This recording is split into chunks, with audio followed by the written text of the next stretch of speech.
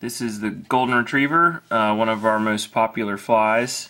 We sell at Mossy Creek, and we're going to show you how to tie it. we use a 3x long size 10 streamer hook, the 530 seconds gold bead.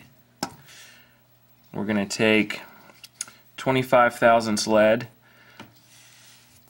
and wrap from the point of the hook all the way forward to the bead. Break it off and sink the lead underneath the bead. And we'll wrap our little tail around there so we don't have any waste.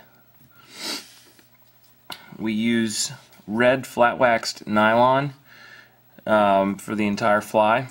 Used to use red floss that was an extra material and an extra step. I'm going to start the thread right behind the lead.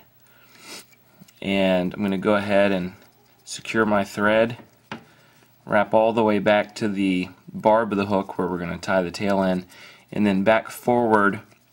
And I'm going to build a small dam of thread behind the lead to keep it in place.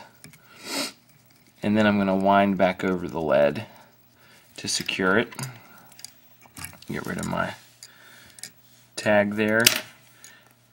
Now for the tail we're going to use a piece of tan marabou. we are going to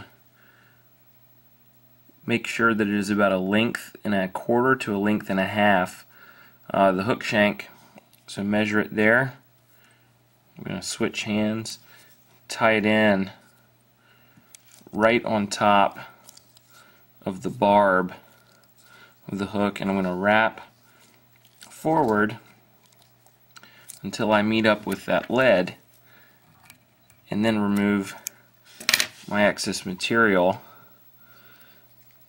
And once you cover it the diameter of your body should be about the same from back to front. Now all we need to do is add some Estaz for the body. This is standard size and what I'm going to do first is remove some of the material and expose the the thread there. And Estaz is directional and if you can see here the fibers are pointing down.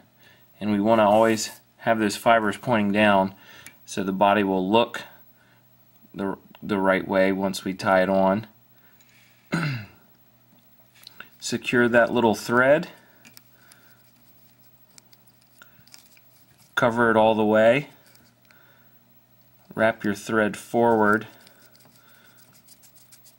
all the way to the the bead where we're going to ultimately tie it off.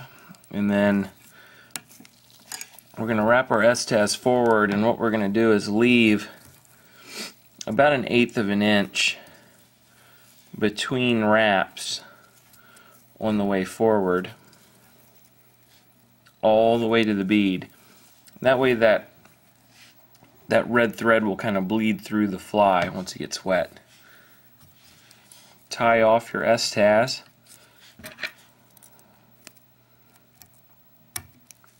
Trim the material.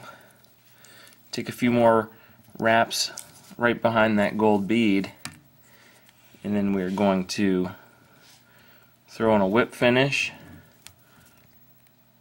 lock everything in place and that's it.